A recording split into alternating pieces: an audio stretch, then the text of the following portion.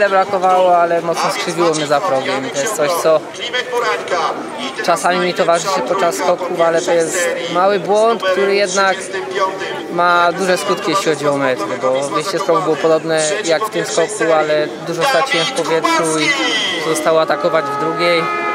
Podeszłem do tego tak samo jak w pierwszej serii. To był taki normalny skok. Ale nie pojawiły się u Ciebie problemy z pozycją dojazdową, takie jakie były w Engelbergu. Nie, pozycja dojazdowa była ustabilizowana, na tym pracowaliśmy cały czas na obozie, więc tu nie było problemu. Drobne takie, można powiedzieć, kosmetyczne zmiany, ale no niestety ten lot tutaj troszkę nie funkcjonował i e, mam nadzieję, że to jest tak, taki przejściowy problem. Jak warunki? Warunki dzisiaj nadspodziewanie dobre. Patrząc na prognozę pogody, wszyscy myśleli, że to w ogóle się nie odbędzie, E, ale myślę,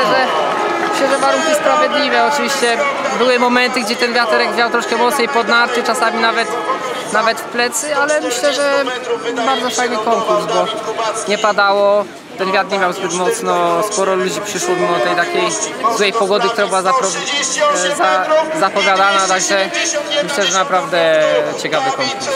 A jak po świętach ciężej się skacze troszkę? Po świętach się ciężej skacze? Właśnie.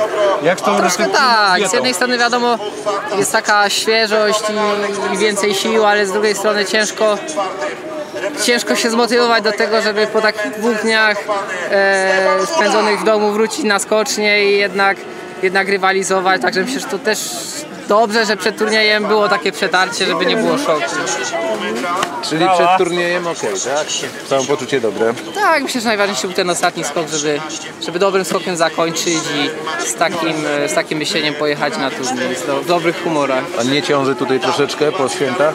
Szczerze mówiąc nie, coś w tym roku się tak stało, że nie byłem w stanie zbyt dużo zjeść, chyba ten żołądek się tak skurczył przez tą dietę, że mimo, że chciałem, to nie byłem w stanie jeść. Ale opłatek był. Opłatek był, wszystkie 12 dań spróbowanych, także można powiedzieć, że diety nie trzymałem, ale mimo to waga jest jak najbardziej w porządku. Super, A powiedz mi jeszcze, ten ostatni skok on był podobny do tych, które oddawałeś w Widerhammer czy w Kusamo? Tak, ten ostatni skok był normalny, to nie był jakiś rewelacyjny, ale normalny skok, taki jak chociażby Lillehammer.